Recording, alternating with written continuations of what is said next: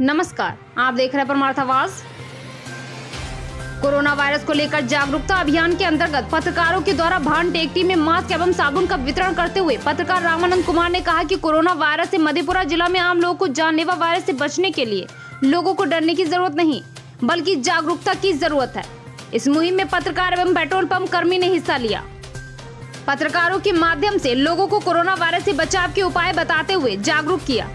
इसमें petrol pump के कर्मी ने सभी पत्रकारों को सराहनीय कार्य के लिए बधाई देते हुए उन्होंने कहा कि विश्व में जानलेवा कोरोना वायरस के बढ़ते प्रकोप के कारण आम लोगों को ज़्यादा सावधानी रहने की ज़रूरत है।